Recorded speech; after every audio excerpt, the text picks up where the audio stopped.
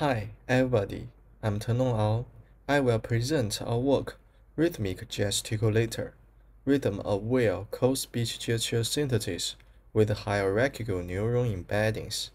This is a joint work with Qingzhe Gao, Yuke Lou, Baoquan Chen, and Libin Liu. As we all know, gesturing is an important part of speaking. It adds emphasis and clarity to our speech and conveys essential nonverbal information. There are rich demands for high-quality gesture animation in many industries, such as games, films, and digital humans. But it's difficult and labor-intensive to produce high-quality gestures by traditional manual keyframe method. So, it would be benefit if gestures can be automatically generated by computer. Let's first define our task. We input speech, such as audio, text, and speaker style, through a synthesis system. Finally, get the generated gesture animation. There are several fundamental challenges. For gesture rhythm, unlike dance, which has a clear rhythm structure, the tempo coherence between speech and gesture is very complex. For semantics, different speakers with a variety of motions can correspond to the same semantic signal, which causes an ambiguity problem. Meanwhile, semantic gestures and the corresponding text are not well aligned temporally. Let's go through the related work. The 1990s belongs to the rule-based method. The results of this method are expandable and controllable, but the transition between gesture units are unnatural. Later, probabilistic models are used to learn the rules, but this method still needs manually defined database. More recent research focuses on deep learning and trains end-to-end -end models, which frames the manual efforts this method can generate natural-looking motion, but can be difficult to guarantee matched beats and accurate meaning. To overcome the shortcomings of end-to-end -end models, our idea is to disentangle the rhythmic and semantic information from speech and gestures, and then explicitly model the relations between them to achieve the generation of both natural and meaningful motions. To achieve it, we should start from linguist theory. A gesture motion consists of a sequence of gesture phases that align with intonational units. The gesture phase is often referred to as gesture lexemes by linguists. These lexemes form a gesture lexicon, such as the finger in the middle. Each color denotes a gesture cluster where we define the cluster center as the gesture lexeme. Different speakers may apply slight variations to the lexeme. Finally, get the real gesture segments. We refer to such variation as gesture style code. As for the relation between gesture motion and aligned audio, gesture lexeme usually relates to the high-level semantic audio feature while the gesture style code are determined by the low-level acoustic audio feature. Okay, let's take a look at the high-level idea of our system. For rhythm, we develop a rhythm-based normalization pipeline. We first identify audio beats, segment and normalize the speech into canonical blocks, generate gestures for every block, and align the generated motion to the rhythm of the speech.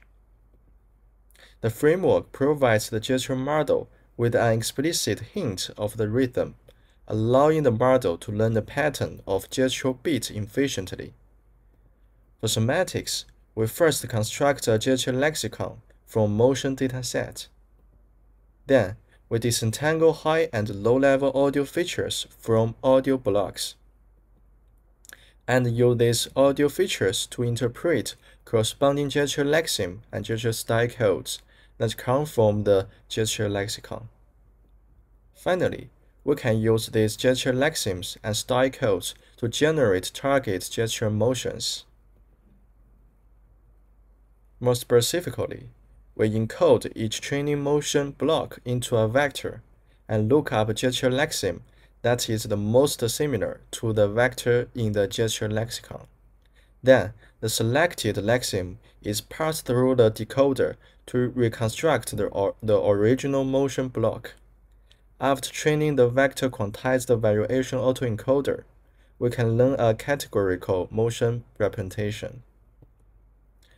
To disentangle the multi-level audio features, we apply contrastive learning to decouple high and low-level audio features from different layers of the pre-trained audio encoder.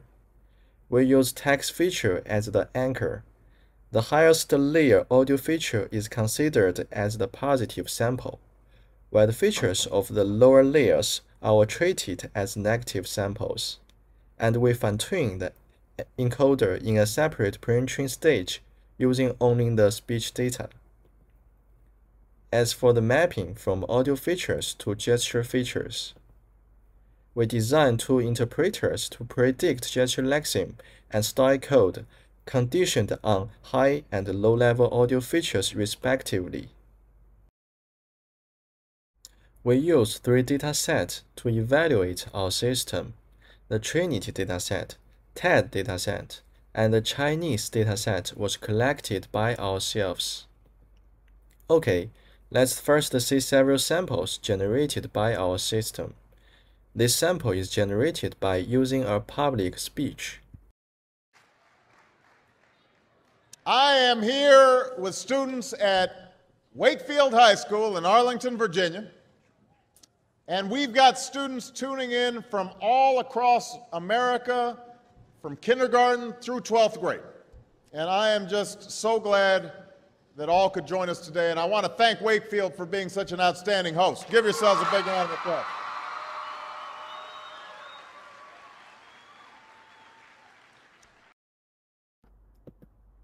Although our model is trained on an English or Chinese dataset, we can still handle the cross-language scenario, such as this speech in French. De manière culturelle, artistique, sociale, mais aussi émotionnelle. Aujourd'hui, on se demande encore comment est-ce que tant de gens sont venus et sont revenus We can easily augment our system to achieve motion style editing by adding a style signal block as an extra input of the Lexeme interpreter. This video shows the results of controlling hand height, hand speed, and hand radius. Just straight and kind of, and there's this fantastic thing where like, um, like my dad made some sort of like inappropriate joke, uh, or something like that, and I like, so like the the problem like that's perfectly fine but then there's stuff when when you start selling it as a like self-defense thing which a lot of martial arts like that's how you just just kind of austere and uh, just like well carried um man just like kind of you know like like that old classic like granddad kind of figure as for objective evaluation we adopt three commonly used metrics MAJE, MAD, and FGD. Moreover, we also propose a new metric to evaluate the rhythmic performance, which is PMB, as the percentage of matched beats. As shown in this table, our system achieves the best performance on all metrics. We further conduct user studies. As we can see, our system receives higher scores than the other system, as shown in orange color, and is closer to the ground truth as shown in green color. To show the ability of disentanglement, we cluster all high-level audio blocks and get several clusters, where each cluster essentially indexes the audio clips with similar semantics, for example, many, quite a few, lots of. And this cluster only corresponds to a few gesture lexemes. But if we do the same process for the low-level audio blocks, as we can see, the clusters will correspond to the most of the gesture lexemes. The exper experiments confirm the correlation between the high-level audio features and the gesture lexemes, as well as the semantic disentanglement of multi-level audio features. Here is a demo. There are so many people. More monkeys are here. No water, no food. Never give up. He is my best friend. Please believe me. Starting middle or high school. You are the top one. In our system, the rhythm-based segmentation pipeline can effectively improve the performance of the rhythm. Let's see a demo. The left result was generated by the system without our rhythm-based segmentation pipeline, while the right includes the pipeline. But the thing is that if you've actually like fought people, if you've actually like done stuff like Thai kickboxing or things like that, From the objective result mentioned before, we know that the gesture lexeme is important to achieve quality motions. This demo shows the comparison of the system without gesture lexeme. The gesture lexeme predicted by the statistical method, where the lexemes are selected based on the frequencies in the training dataset, and the lexeme predicted by our learning-based interpreter. And you know, like you'd have people that would comment like, "This is bad," sad face or whatever. I don't know. This is you're an idiot, lol. Um, but like for ages, like that's why YouTube was, where people were just like, "I'm just gonna put this thing and make like put it out there in the world, and it doesn't matter." We also study the influence caused by the gesture style code, which can be considered as a fine-grained style. This demo shows the comparison of the system without gesture style code, randomly sampled style code, and the style code predicted by our learning-based interpreter. Henry Henry Cavill, who's the actor for Superman, he uh, apart he's doing another film with Paramount Pictures.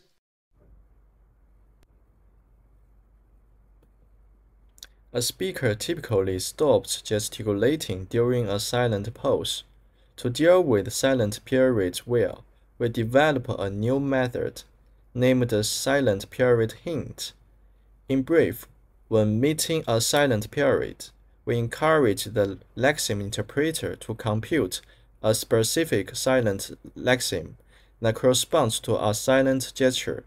Please refer to our paper for more details. Here is a demo.